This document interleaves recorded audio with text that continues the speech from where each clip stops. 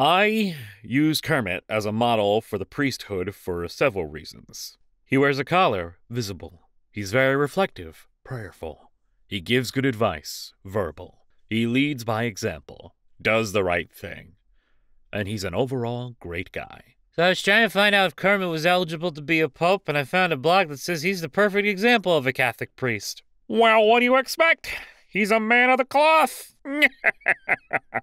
Wait, why were you trying to find out if Kermit was eligible to be a Catholic priest?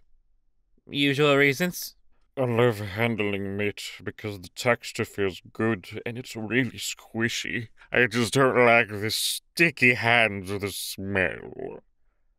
Nobody say a goddamn thing. I would love to handle some meat sometime. See, this is what happens when we don't have kink at Pride.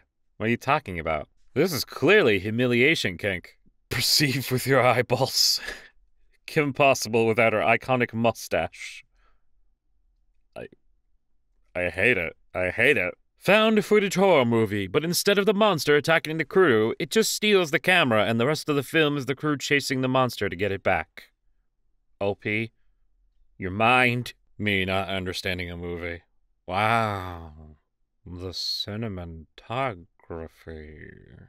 I forgot how fucking weird November is. There's no afternoon. It, it's just night after 2 p.m. When it rains, you simply just do not get a day. Northern Hemisphere people, are you okay? Northern Hemisphere person here? No. my so blended off. Sent my teacher the draft. Sent the link and realized the doc is still titled Gerber. Should probably fix that. This is like ripping the band-aid off and finding out you somehow forgot to clean your wound thoroughly from when you scraped it by landing in a pile of puzzle pieces. And so now a puzzle piece is stuck to your cut and you just have to rip that off too. According to a recent survey, replacing words with the names of musical instruments in a sentence often goes undetected.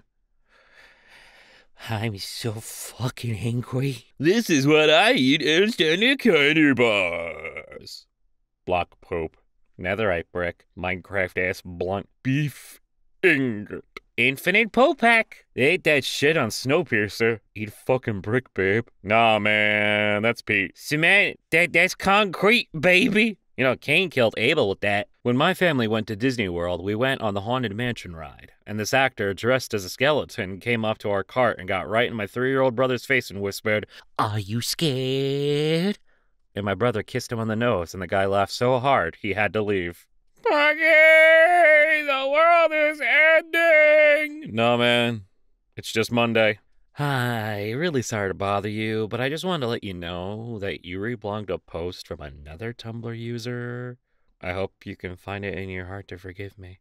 Hello, yes, we are doing exclusive stream. We are Applicarium. We just a post over file.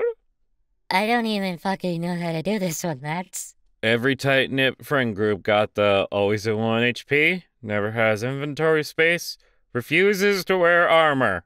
Oh, don't worry, I would never fire beams. I would. Beam attack. Probably a bad RPG idea. A bard masquerading as a skilled archer and his friend. A rogue who sneaks around stabbing people with arrows. Everyone just thinks he never misses. Not gonna lie, kinda wanna see that in action. The black-nosed shark is not known to pose a danger to humans. Yeah, man, we can tell. He looks like he's on the verge of sobbing.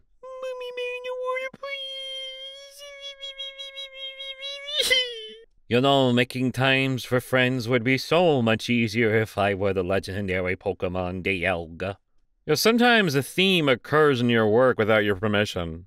And sometimes it reaches a threshold where you're like, well, now I think this is like, this is saying something about me against my will. Don't know what though. There's no way to fix a cigarette that broke in half. Here are some things you can do instead of smoking. Call a friend or family member. Write a letter to your future self or journal. Clean your car. Do a crossword puzzle. Yeah, hey mom, I know it's been a while since I called. I got bad news. My cigarette broke in half. Yeah, yeah, Google said no way to fix it either. I would never start gaming past 10 p.m., but I will often keep gaming past 10 p.m. Do you understand? If I've been gaming for a while and I see it's 10 p.m., it's like, oh yes, still time for a few quests. But if I haven't started gaming yet, I'm like, ah, well, perhaps it's time for my nightly respite. Holy fuck, it's finally in words. When you have CEOs, directors, managers, and those who make way more than you, as the lowly IT guy wondering how they get any work done when they suddenly panic that their webcam isn't working, they were defeated by a slidey bit of plastic. Oh my god. This explains so much, doesn't it? You're a big fan of stiletto snakes for looking like someone's drawing of a snake. Not gonna lie. He looks pretty cool.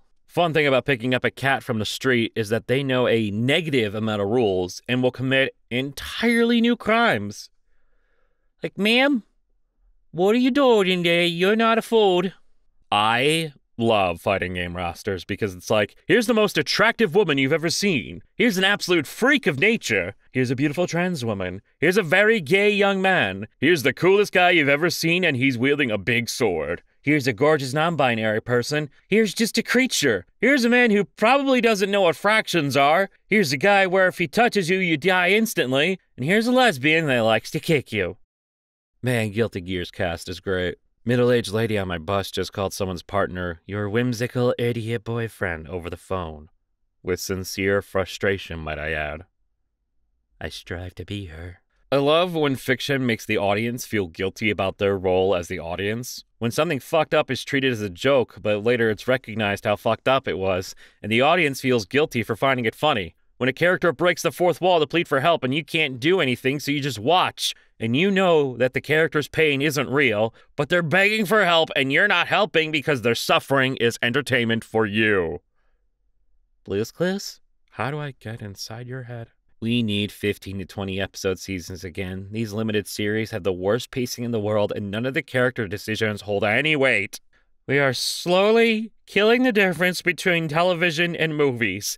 TV seasons have six to eight hour long episodes. Movies are part one and part two, and both halves are nearly three hours long. Both of them have too much time and not enough time for the characters to struggle and grow and change. What makes a story better suited for television or film is becoming irrelevant because we are erasing the distinctions, and that's bad for both of them.